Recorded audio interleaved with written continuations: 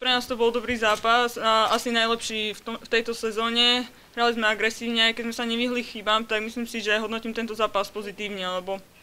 ukázali sme, že vieme bojovať a vieme uh, hrať tvrdú a agresívnu obranu proti superovi, ako je Katerinburg, ktorý je najlepší v Eurolige. A myslím si, že sme sa s týmto zápasom popasovali dobre, aj keď to skončilo 20 bodov, ale bol to z našej strany dobrý zápas ten prvý polčas nám trošku ten strelecký nevyšiel, ale ukázali sme hlavne v druhej štvrtine, že sme ich udržali na 13 bodov, že, sme, že vieme hrať agresívnu obranu, nie ako v prvej štvrtine, keď sme im nechali, aby nám dali 23 bodov.